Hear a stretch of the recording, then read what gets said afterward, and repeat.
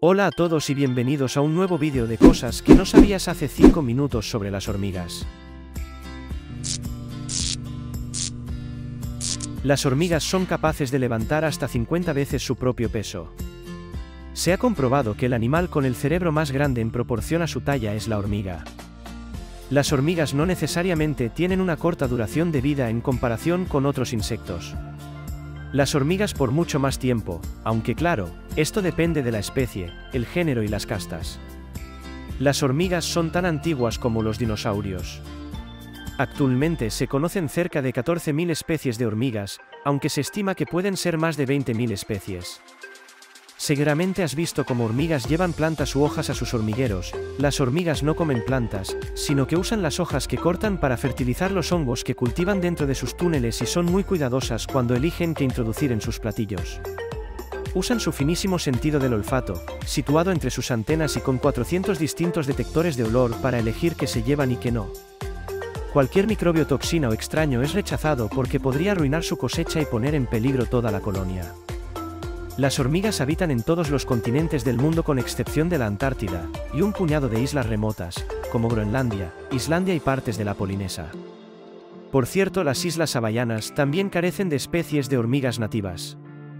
Las hormigas de género Formica pueden sobrevivir más de dos semanas bajo el agua, en un estado anestesiado en el cual bajan su consumo de oxígeno entre un 5 y un 20% de lo habitual, pero por favor, no intenten hacer esto en casa ni hagan daño a alguna hormiga. Existen hormigas saladas que seguramente las has visto principalmente en temporada de lluvias, estas son hormigas princesas que aspiran a ser reinas. Estas hormigas hacen buenos llamados vuelos nupciales, en los que se aparean con machos igualmente alados y después de esto, una vez secundada, buscan un refugio para poner sus huevos y comenzar a formar su propia colonia, y así fecundada la reina, esta pondrá camadas de huevos fértiles durante toda su vida, sin necesidad de aparearse de nuevo. ¿Cómo reconocer una reina? Bueno, una reina se caracteriza por una cabeza más grande, así como un tórax más grande y más voluminoso ya que éste soporta sus alas.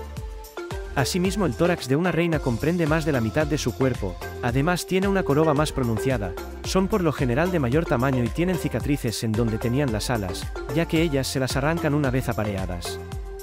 Los machos también son alados pero estos son más pequeños de tamaño que las reinas y es muy notable, tanto en su cabeza como en el tórax, los machos son los que tienen un menor ciclo de vida, pues después de aparearse mueren, por lo que su única función es fecundar a la reina y viven tan solo unas semanas. Una vez secundadas la mayoría de las reinas no comerán durante semanas, usan energía de sus depósitos de grasa y músculos de vuelo para depositar su primer lote de huevos, y una vez teniendo sus primeras hijas llamadas dulces, ellas las alimentarán y cuidarán de sus huevos, aunque no todas las reinas funcionan así, hay otras semiclaustrales que salen a cazar su propio alimento, hasta que tengan sus primeras noches, ya que éstas no tienen depósito de grasa.